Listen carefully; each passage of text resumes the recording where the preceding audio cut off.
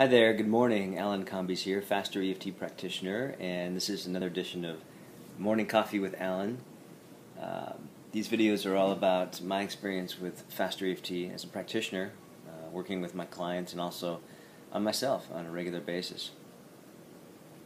Uh, today I wanted to talk, to talk about uh, a concept that is prevalent in a lot of New Age or self help circles, and it's also uh, quite quickly becoming um, a big concept in in science.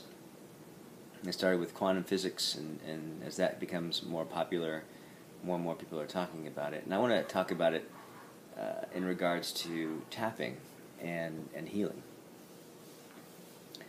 And that concept is uh, energy.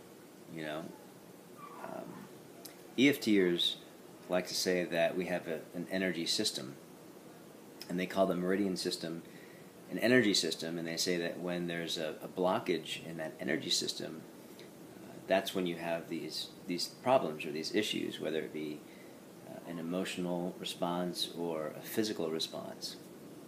Uh, they say that there's a blockage in that system, and I I just wanted to sort of like, uh, I guess, give my two cents on that. And I really think that uh, it is energy because obviously we're all energy. Everything is energy. Uh, if we do have an energy system, it's a grander, it's, it's, it's, it's part of a much grander matrix, if you will and but that's so that concept can be so like out there and so nebulous you know? And i want to know how does that help you? And so when i look at you in regards to energy what i like to look at is what really is this system that we're talking about? Is it a meridian system? Is it a flow of energy through your body? I believe that your energy system is really just your feelings. You know, it's your it's your I believe that your your emotions emanate an energy. And that energy literally communicates to the environment around you, including other people, of course. And I believe that emotion, that energy emits from your heart. And the question then becomes how do you trigger that energy? And is it a negative energy or a positive energy? And so the key here, I think, is that it is your thoughts that trigger the emotion, whether it's negative or positive. It's what you're thinking about. So if there is an energy system, I would like to think that it's the mind and the body projecting that energy. So if you are projecting a negative energy, and it's going to affect how you react in the world and how people react to you. Right? They say that everything out there is a reflection of what you're holding inside. You know, it could be that they're reacting to what you are putting out. You're essentially telling people how to treat you. And so, how do we address this? Well, Faster EFT addresses the thought that creates the emotion. It addresses the how you know you have the problem. How do you know? You know, um, stressed out about money. How do you know? Well, I can feel it. Well, what are you thinking about? Every time I think about my bills, every time I think about not enough, not enough. You you take a look at those, you aim at those thoughts, and you begin using tapping to reduce the stress, to reduce the energy until you can think about what you want and feel good and emanate that positive energy, which is a good feeling, which is the emotion. I think that's all I have today. That was just on my mind for some reason. Um, you know, I, when it comes to faster EFT and helping people, I really try to take a very practical approach. What I love about this work and faster EFT in particular is that it's a very practical and pragmatic approach to helping people. It's a very hands on, it's a very, you know, just find it, release it, let it go, flip it, move on. Um, I love that process. That being said, there are plateaus that a lot of us reach, and I was reading years ago. I, I found a book, and I didn't even read the entire book. I think I read maybe the first chapter or two at most. And I, I'm gonna not remember the author at this moment, but it was a book about mastery. I believe it was written by a Taekwondo master. Not sure. But he spoke about the concept of mastery. And he said, to, in essence, and again, I'm only I've only read maybe the first chapter or two, but in essence, what I what he was writing about was that everybody, anyone who masters anything, will start off as they learn this new whatever it is, whether it's a uh, you know your tennis game, your golf game, or healing yourself.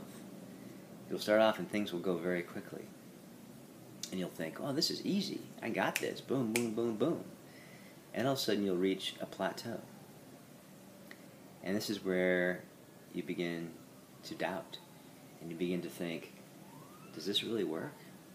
You know, this tennis thing is harder than I thought I was so good yesterday. You know, my forearm is great, but my backhand sucks. What's going on? I, I don't know. Maybe I'm not cut out to be a tennis player.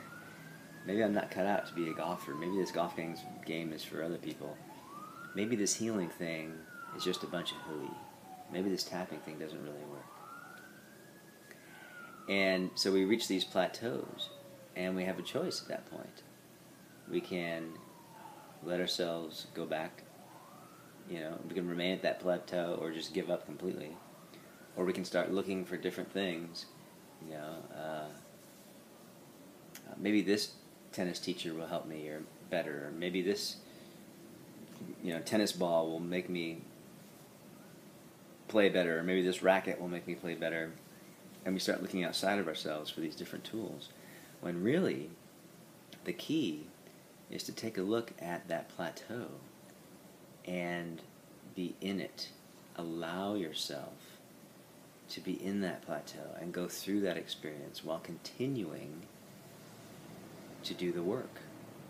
Whether it's working on your backhand or your golf swing or tapping on your shit, as I like to affectionately refer to your problems.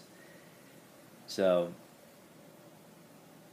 I think that's an important part because I've hit those plateaus.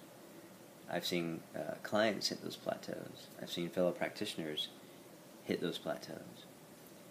And the smart ones learn to master those plateaus. They learn to experience those plateaus, work through them, and guess what happens after that? You hit the next acceleration and big changes happen. But you have to experience that plateau before you can reach the next level. And then guess what happens? You hit another plateau. And in healing in particular, I think this is a very, very key and very important concept. Uh, I know that when I first started tapping, I got great results very quickly. And then I hit a plateau. And I started looking, well, maybe, maybe the answer is over here, or maybe the answer is over there. Luckily, I began to recognize these patterns, you know, of looking outside of myself. And I'd always come back to the real deal, which is faster EFT. And the more I did that, the shorter those plateaus became. And of course, I still get them. I shouldn't say the shorter they become the, the less I looked outside of myself for answers, and the more I just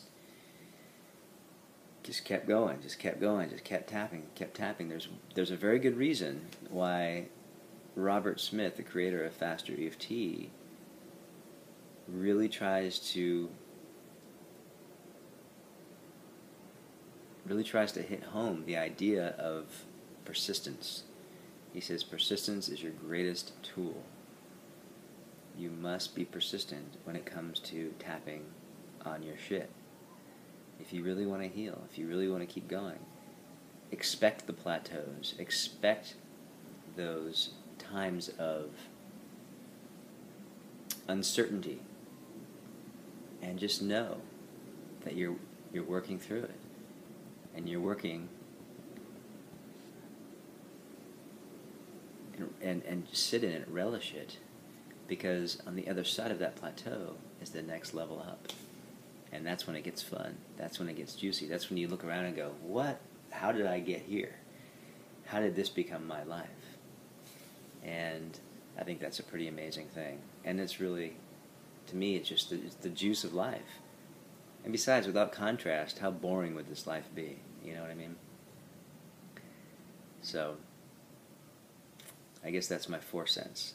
I started talking about one thing and ended up talking about another. But I hope I hope these help you. I hope these videos help you. That really they're they're um,